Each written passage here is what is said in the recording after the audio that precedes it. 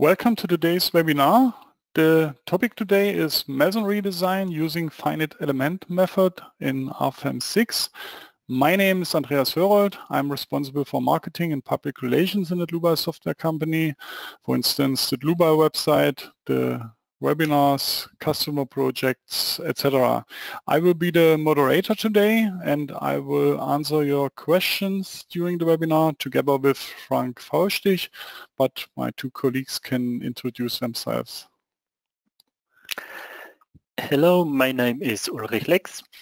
Mm, I'm responsible for quality management um, of RFEM um, together with development of the add-on glass and the add-on masonry. And today I will present the webinar. Hello, my name is Frank Faulstich. I'm responsible for the quality management of our software. Yeah. Yeah, and you will help me with answering the questions, yeah. of course, but I said it at the beginning. Okay, thank you for your introduction. Then we can switch off our webcams that the attendees can see the full screen. You can answer, uh, ask questions via the control panel on the right side of your screen. You can enter a short question here and we will answer you. If you don't get an answer during the webinar, because there are too many, you will get an email afterwards. The other way is to watch the entire webinar and then uh, email your questions to info at dlubal.com. Okay, then I hand over the screen to Ulrich. Mm, okay, thank you. Thank you very much, Andreas, for your for your introduction.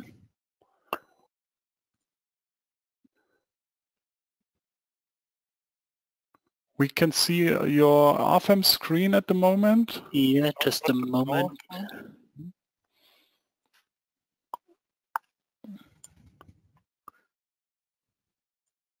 Uh, no. So today's webinar is about masonry.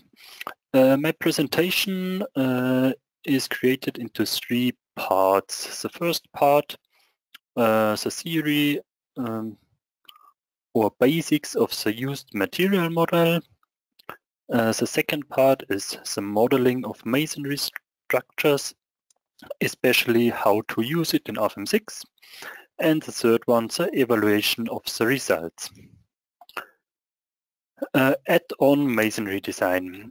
The add-on masonry design was developed completely new in RFEM 6.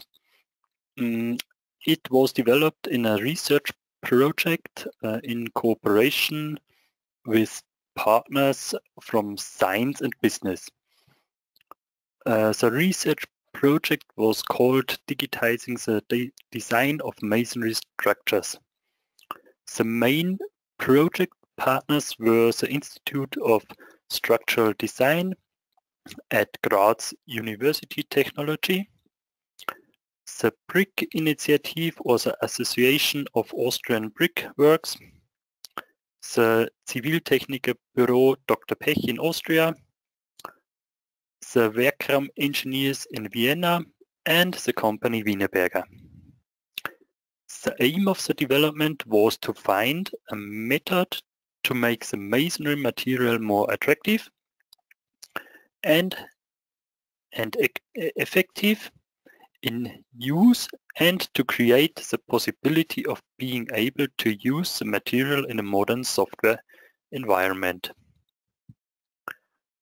Uh, topics like BIM, building information modeling, and there's the exchange of models uh, or, or, systems between an architect and um, special planners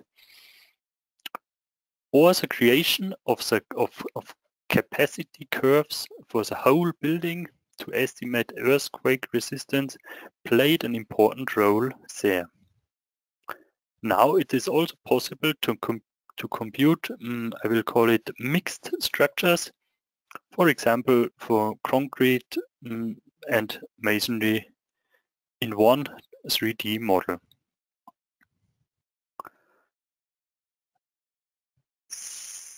After detailed investigation of various published material models, we decided to use an approach according to Lourenco. This theory includes three yield surfaces called Rankine-Hill surfaces with which the material is described. There would be many different uh, or more different approaches available. For example, with more yield surfaces, that would mean uh, that the material behavior would be described uh, in much more detail, but there would be also disadvantages in implementation or uh, in stability of the calculation. The comparative calculations showed us that the results are very good with our chosen material model. How do it works? When the material is entered, a stress strain curve is generated from it. In the calculation, the solver will use this stress strain curve to solve the system. Due to the orthotropic behavior, a separate curve is generated for each direction. Mm, the material parameters. The material masonry is not an easy one. It's a composition between stones and mortar, or even, uh, even glue. The difficult now is to describe this masonry material in such a way that realistic load-bearing behavior is reflected. We did a lot of test evaluations and comparative calculations where we optimized the curves in such a way that the load-bearing behavior what is speci specified in EC, EC6 uh, is refle reflected to our computation. As a result, if the program computes successfully, design close to the Eurocode is given. The program does not reflect a design ratio because this is not possible for a nonlinear calculation, but the check is fulfilled when the calculation is success successfully completed. One of the next steps is the slab wall connection. A special topic in masonry constructions is the slab wall connection. Due to the special geometry and behavior of masonry, the connection point also requires special attention. As you all know, lies the slab, the concrete slab for example, not complete on the masonry wall. There is mostly an offset and that's the reason why the material model itself cannot react completely right at this point. Uh, in principle, the cor corresponding moments are already entered into the system through the concrete, concrete slab. For example, with a bigger slab span, there is a bigger moment in the wall. If the moment cannot be transferred by the wall, then the material model responds. Our FE elements are internally divided into nine layers above the thickness. If the allowable force is exceeded in one layer, then it fails and the wall thickness decreases. And the connection will react with lower stiffness. But the problem is the offset. Uh, that's why we developed an interaction equations where the maximum possible moment in condition to the normal force is considered. This topic can now be considered with a line hinge in RFEM 6. That's now all for theory and I will switch to the program to continue with modeling. Uh, there will be also an, an, explanation report to the research project available on our website as soon as possible. Actually, the report is uh, on last revision and when it's uh, when this will be finished, then we will publish it on our website. So and now to the to the program. I prepared a, a, a simple, easy uh, structure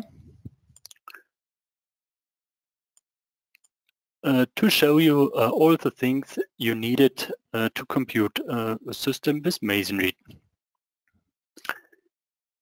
For the first time, mm, the material or the add-on masonry mm, can be activated on the base data.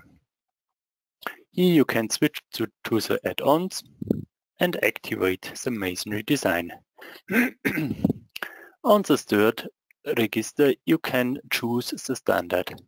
Actually, there is only uh, the Austrian standard implemented, uh, but we are continuing uh, to implement more and more standards. So you can continue this. Okay, then we can create a new material. If I activated the masonry design, then I have the, uh, the possibility to choose a material type masonry. And after that, I can choose one material model. There are two different material models uh, for for masonry. The isotropic linear elastic is our standard material ma material model the isotropic masonry is our, um, I will call it, it old uh, material model from RFEM 5. Here you can uh, you can uh, limit the stresses in x and y direction, but you have no no influence of the shear, mm, also orthotropic behavior. This orthotropic masonry plastic surface is our new developed one what we will choose. If you do this, you get a new register for classifications and material. Here you, you can uh, enter the parameters of your used stone mortar com combination. Uh, if I go to the website, maybe from Wienerberger, unfortunately this is in German, but I had no English one. You can find the dimensions of a stone. You can find um, you can find the compressive strength, the stone group, and you can find which mortar, mortar uh, can be used. If you know these things, you can insert it here we have we want to choose in stone with grouping 2 together with thin layered mortar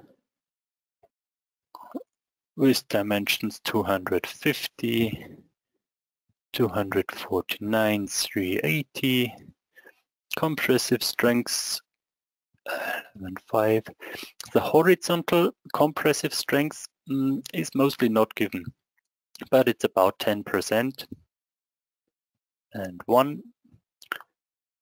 Here you have the possibility to, to uh, enter a partial factor on material side. It's in our case for thin layered mortar the 2. And the last part you can uh, activate that the head joints are filled. Mm, mostly you need it if you if you use uh, maybe maybe a lintel um, above an opening. So if you entered all these things, then automatically the parameters for our used material model are calculated. you see in the upper part uh, the E module, the difference in Y and X direction. It's Therefore, it is really important to check the local directions, that the y direction uh, is in this direction uh, where, where the, the load is uh, acting. Then you have the, the compre uh, compressive strength and the tensile strength. And in the, in the part down, there are some parameters for the material model. This is one option. The second option is to use our uh, material library. You can choose it. Mm, you can set material type masonry and there are a lot of uh, stone mortar uh, combinations. We are uh, we are developing and we will fill this uh, database with a lot of more uh, stone mortar combinations. Here I can choose again my porotherm with thin layered mortar. On the left side down I have an info button where I can see which uh, parameters are in the database. With double click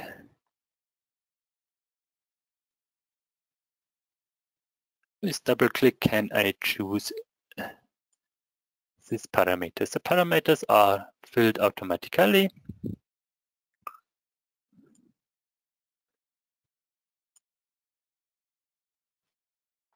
So the same I want to do uh, for for a second stone type for my inner walls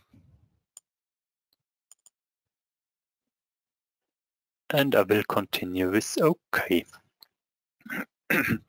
so if I have defined my material, I can define the thickness as it is common in RFEM 6. I create a new thickness, choose my material and enter the thickness of the wall.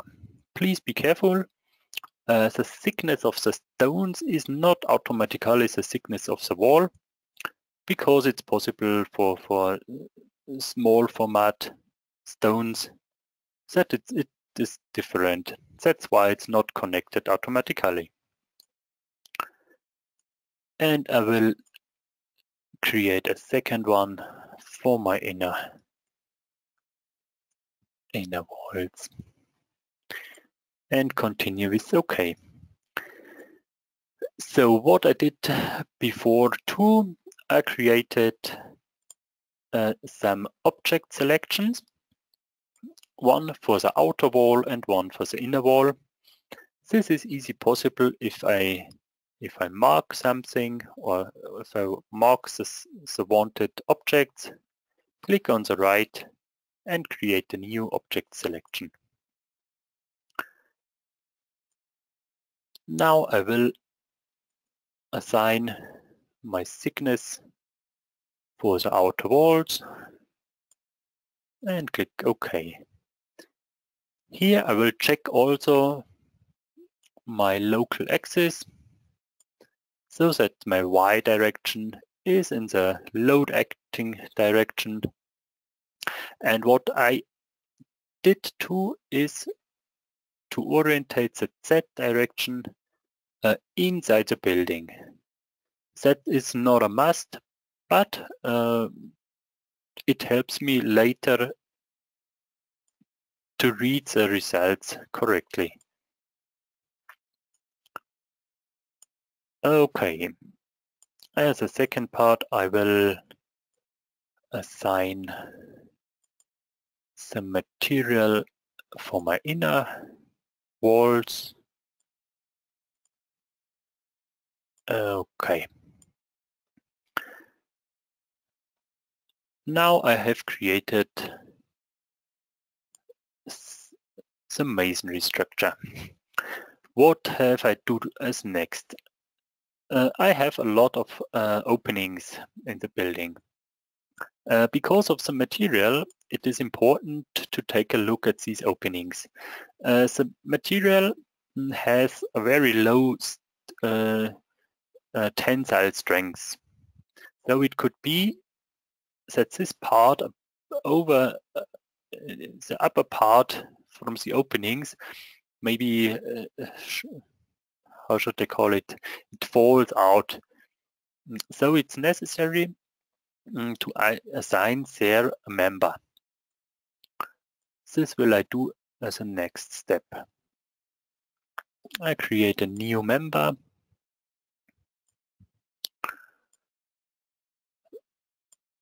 Maybe with an with 300 and only 55 millimeters in the high.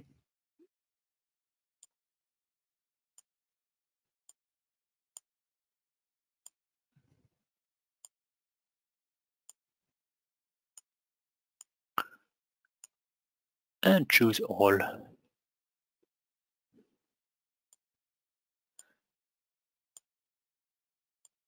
Lines from opening.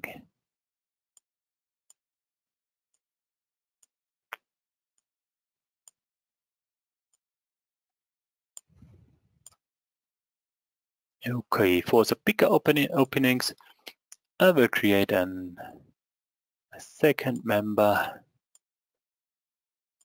maybe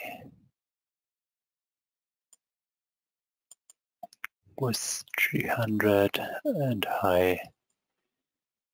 200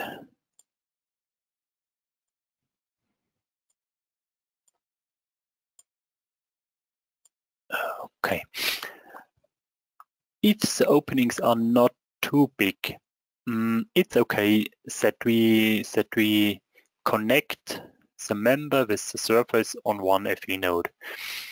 Uh, if the, the opening is, is bigger, mm, then it's maybe necessary that you that you bring your member uh, your member in the surface, maybe 10 centimeters, like it is in reality, so that not all the load have to acting acting on one FE node.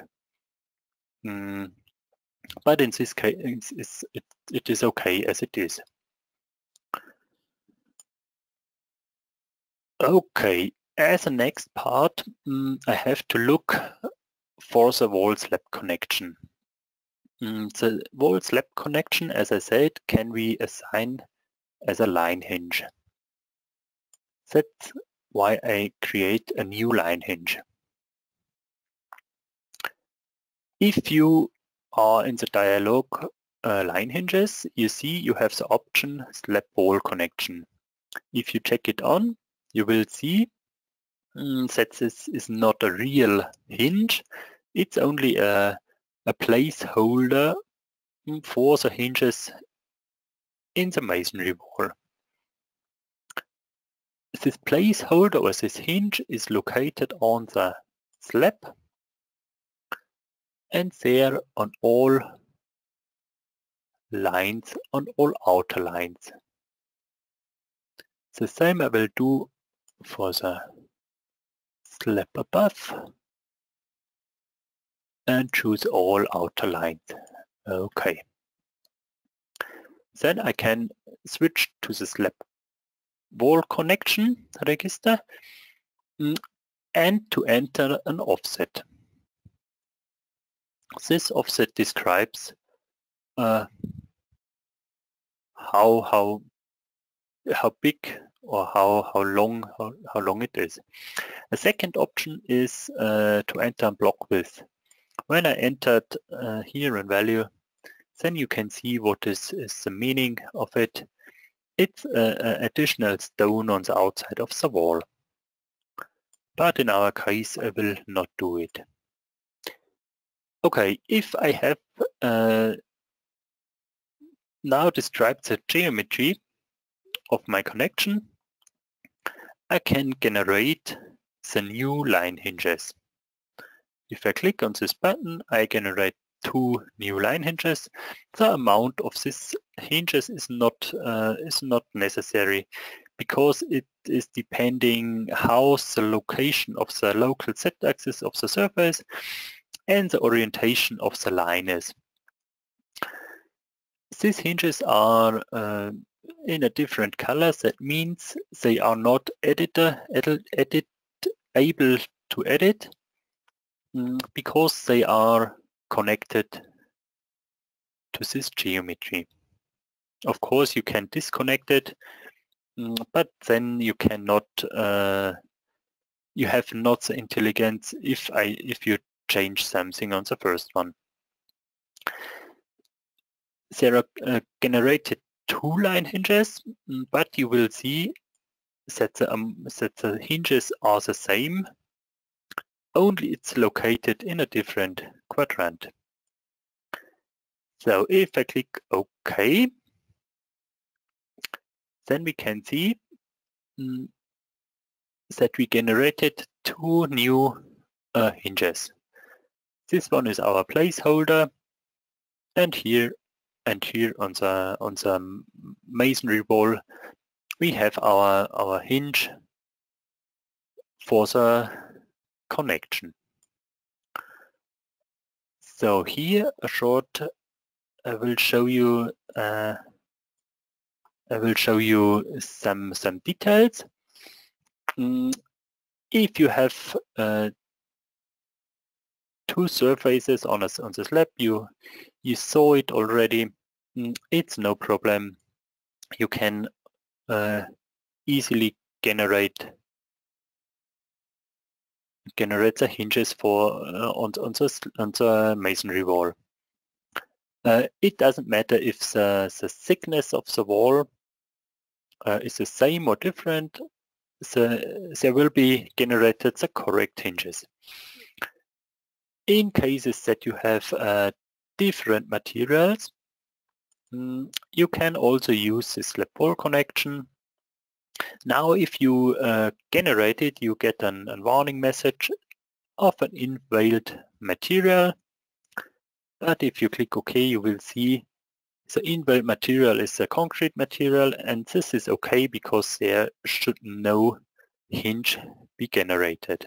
And on the masonry wall, the correct hinge is generated. You have to be a little bit carefully. Mm, in such cases, uh, it is modeled in this way that here are double lines this, this is not good. You can find it also uh, with uh, tools, mm, model check, overlapping lines. Mm. But this is not good uh, in, in for, for the modeling because if you generate here the slab wall hinge you see that only on one uh, uh, uh, uh, on one wall the hinge is generated.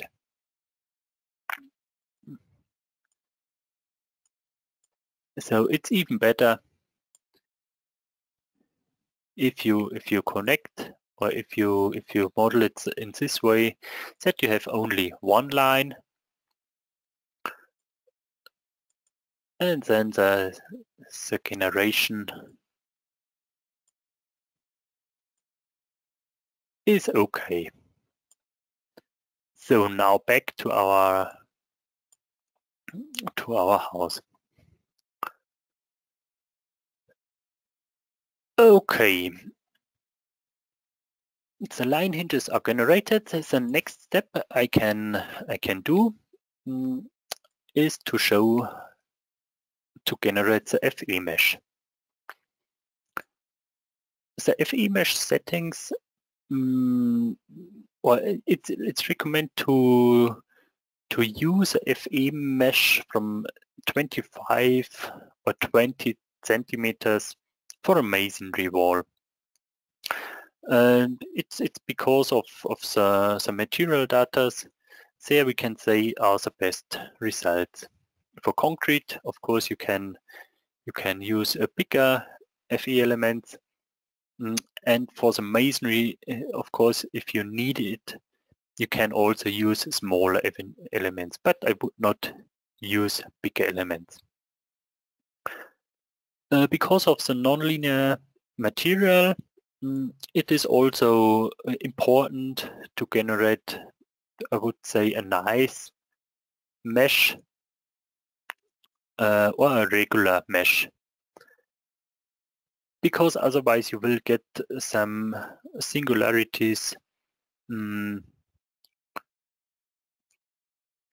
what are not a problem of the of the system, what are then only a problem of the mesh. So in my case, uh, the mesh is looking look like looks very good.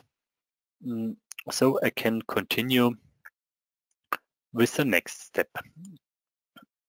Mm, the next step would be the loading. I have prepared uh, simply three load cases. Mm, what I want to, to explain is a little bit uh, the settings. Mm, so the static analyze settings, you have the option to choose an uh, analyze type. It's possible to compute the masonry with geometric linear or large deformation analyze type. Mm, for, I would say, easy systems, it's enough to use the geometric linear system. If there is a big bending or if you if you want to to to use uh, or to, to come on the borders of the the material behavior, it's it's necessary to use the large deformation. For the nonlinear material, it's also necessary to use a number of load increments that you not only only compute it with one load increment. It's because uh, uh because of that the, the, material or the FE element has has the chance um, to to uh, yeah load it in a slow way uh, the FE elements. So you, you have to choose maybe a good number would be 5 or 10. Here you can save the results for all increments. Then you can see afterwards what is happening in calculation.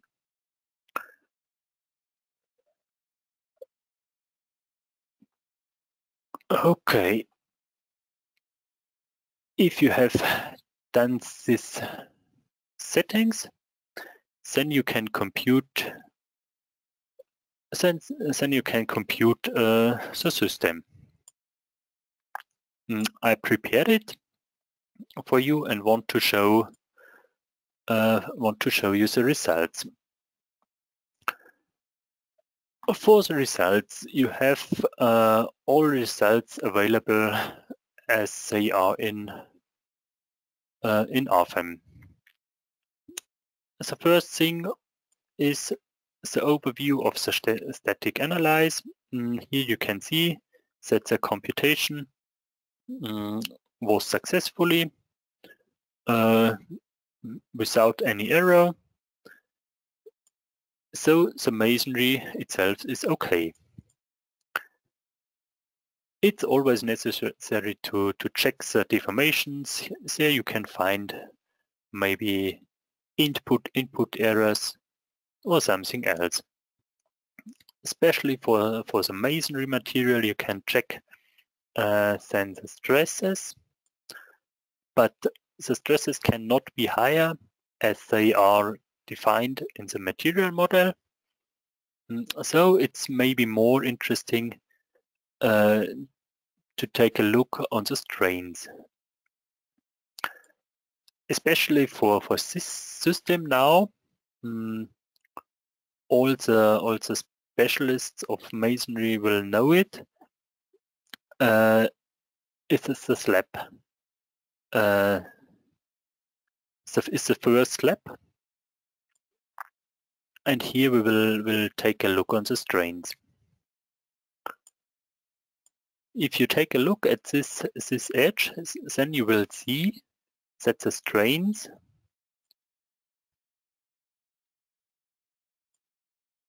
that the strains on, on the outside in y direction are tensile strains. Uh, that means hmm, maybe there is a crack in uh, in the masonry. Uh, in the beginning I checked uh, the, the plus and minus side and when we remember the plus side is inside the building and the minus side is outside. Now I can uh, can take a look on the inside strains and see there is also a tensile uh, strain. That means my, my crack will be above the hole thickness. Mm. This can be avoided if you if you if you add a member or a Attica uh, on on the slab. But with these things, you can you can uh, you, you can uh,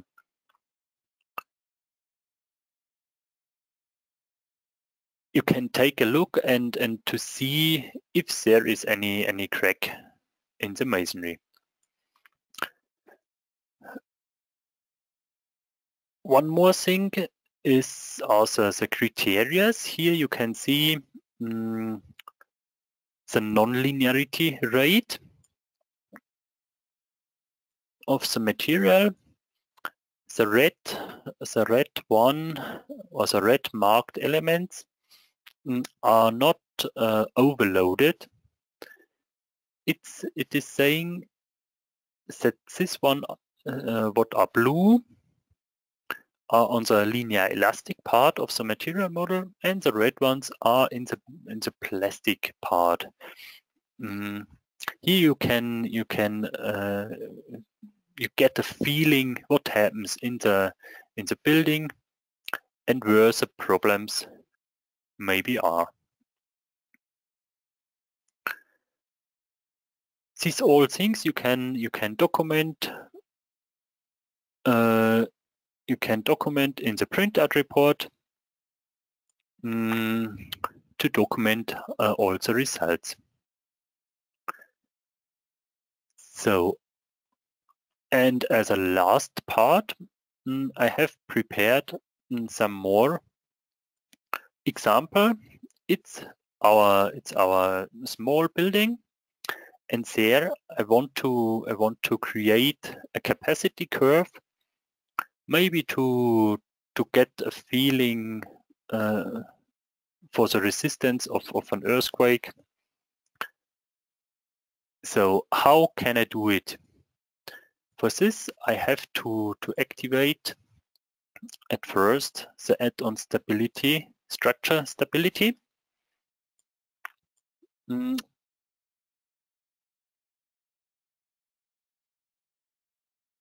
The other things are, are the same as we did it before. And I created a new a new load case. I have uh, my normal vertical load cases and I created one load case um, for horizontal loads. This horizontal load case is only is only a, a unit load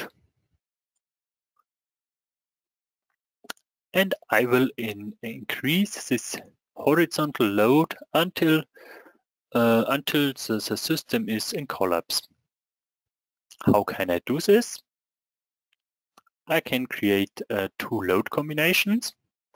One load combination with my vertical loads and the second combination with an ad additional uh, horizontal load. Now I can say, okay, my vertical loads are an initial, initial state. That means that I will not increase these loads. After that, I can activate structure stability add-on and say, okay, I want to to increase my loading with incremental method. Activate this here. You have to save the results. and can this you can this uh, assign to this combination 20. In the static analyzing settings, you have the possibility to activate calculation diagrams. For this calculation diagrams, you have the option uh, to choose match things you want to see. In our case, I want to see the sum of support forces in x direction in correlation with the node deformation in x. You have to choose one node. And with these settings, you can start the calculation.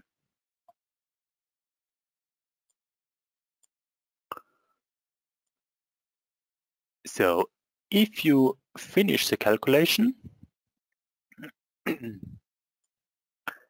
you can see that I can increase my, hor my horizontal load about 60 times and after that my system will falling down. Mm, in the criteria you can see now mm, also the, the, the shear the shear forces what are in the system.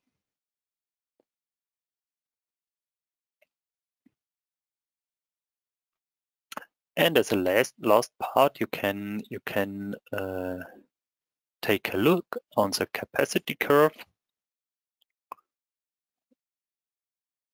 You can take a look on this calculation diagram, and this is the capacity curve for this building. Mm, here you can see the linear elastic part on the beginning. And if you increase the loading more and more, you will come in the plastic. Plastic parts, the loading will not be much higher, but the deformation uh, will increasing. And this curve you can use uh, maybe maybe for uh, for some other calculations.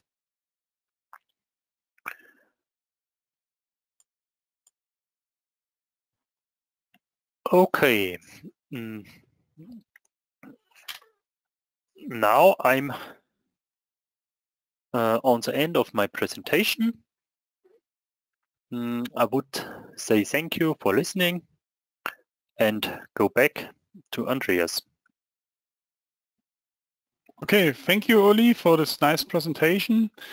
Just for information, we recorded this webinar and yeah, before I will show you where you can find the recording and the use models uh, to download, I would like to introduce you some new uh, or free tools that we provide. Just a moment, I take over the screen again. So yeah, our free online services, e.g. the GeoZone tool for snow, wind and seismic loads. Then the cross-section properties, yeah, it's a large database with cross-sections and you can define your own parameterized uh, cross-sections.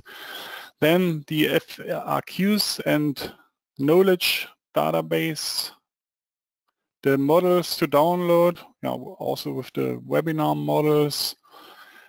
Then on our YouTube channel, you will find the webinars and other useful videos, tutorial videos, etc. Our webshop is with prices and you can download the trial licenses of RFEM, RSTAB, Wind, and so on RFEM and RSTAB uh, contain the yeah, full, it's, uh, those are full uh, versions with all add-ons.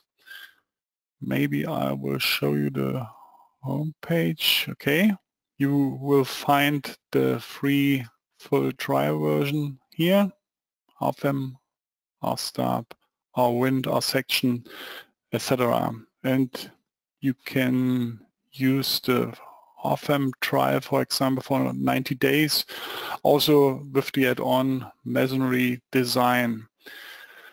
Okay, if you want to find the recording under news and events and webinars, you will find the today's webinar here. Yeah, and in the next days you will find the recording here the presentation slides are already there and also the two used models. Okay, that's also all from my side. I say thank you for your attention. Thanks to Ulrich Lex for the nice presentation. Thanks to Frank Faulstich for answering the questions. I wish all a nice rest of the day.